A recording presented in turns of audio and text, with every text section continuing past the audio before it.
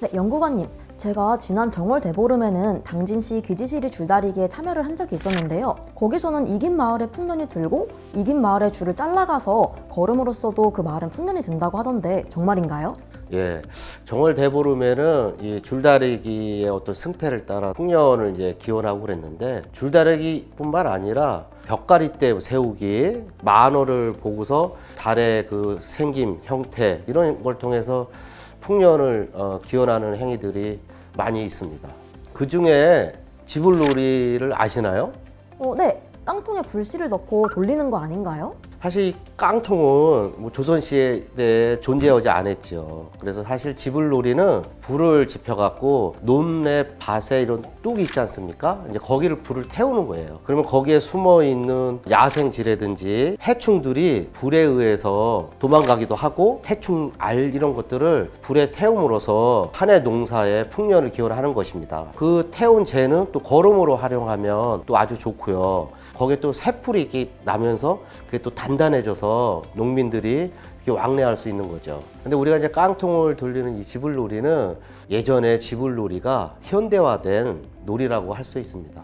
아, 무척 실용적인 놀이였네요. 지금까지 저희가 알던 지불놀이는 잘못된 상식이었던 것 같아요.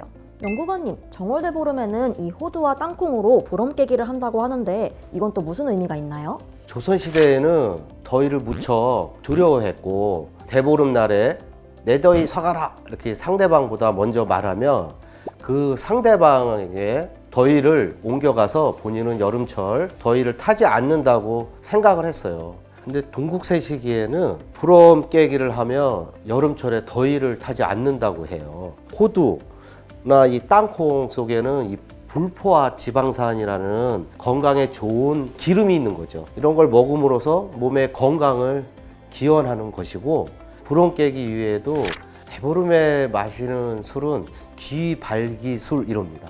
그러니까 귀가 밝아지는 그 술이라는 의미가 있는데 근데 이 술을 마시면 귀병이 나지도 않고 또 한 해 동안 이 귀로 좋은 소리만 들려온다고 합니다. 실제로 이 정월대보름에는 백집에 집을 다니면서 밥을 얻어 먹으면 뭐 건강해진다는 백가반이라는 그런 풍속도 있고요.